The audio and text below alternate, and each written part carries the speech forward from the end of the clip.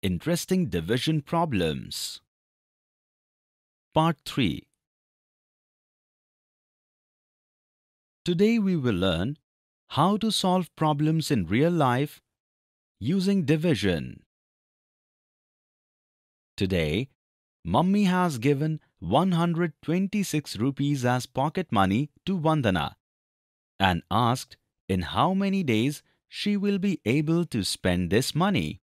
From my school canteen, I buy one kachori each for 7 rupees.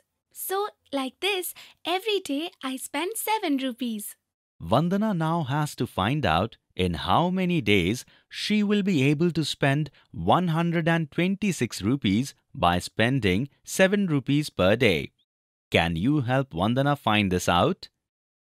Let's see how Vandana solved this problem.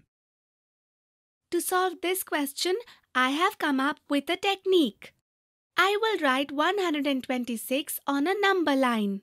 And now if I minus 7 from 126, I got to know that after one day, I will be left with 119 rupees. Now I will subtract 7 from 119. The answer is 112. By this I get to know that after two days I will be left with only 112 rupees. Likewise, I will keep subtracting 7 on this number line till I don't reach the figure 0. So once I reach the digit 0, that will mean all my pocket money is spent. Now I just want to see how many times 7 had to be reduced to reach 0.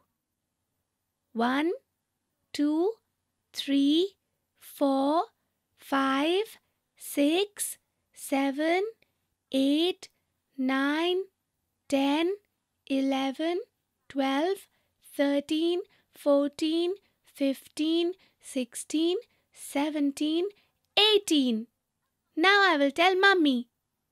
Mummy, 126 rupees will be spent in 18 days. Vandana, I saw that you found the answer to this question by subtracting 7 again and again but you can also use division rather than instead of subtracting the number in this way. But mummy, how can we use division? Division is used when we want to divide things into equal parts, right? Absolutely correct, Vandana. And even in this question, you are distributing 126 rupees in equal parts of 7 rupees. You also look at this question. Do you think mummy is correct? Oh, yes, you are right, Mummy. I did not notice that. Now that you know, try solving this question using division 2. Yes, Mummy, I will do it. But I remember the table of 7 only till 10, and the seven tens are 70.